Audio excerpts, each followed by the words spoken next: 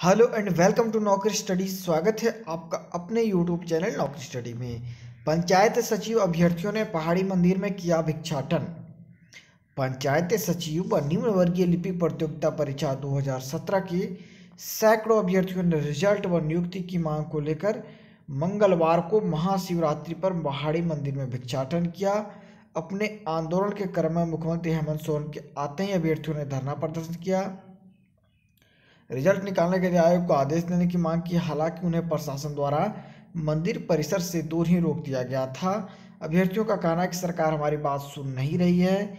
हमें भिक्षाटन करना पड़ रहा है। अभ्यर्थी गुलाम हुसैन ने कहा कि पिछले दिनों सत्र के बैठक में भी हमारी मांगों को लेकर बहस हुई, जिसमें केवल आश्वासन ही मिला कि विसंगतियों को दूर करते हुए नियुक्ति करेंगे। हालाँकि पिछले इकतालीस दिनों से धरना प्रदर्शन कर रहे हैं। अगर हमारी मांगों को पूरा नहीं किया गया तो तीन मार्च को पंचायत सचिव के पाँच हज़ार सफल अभ्यर्थी व माता पिता अभिभावक भी विधानसभा के बाहर न्याय यात्रा निकालते हुए मानव श्रृंखला बनाएँगे।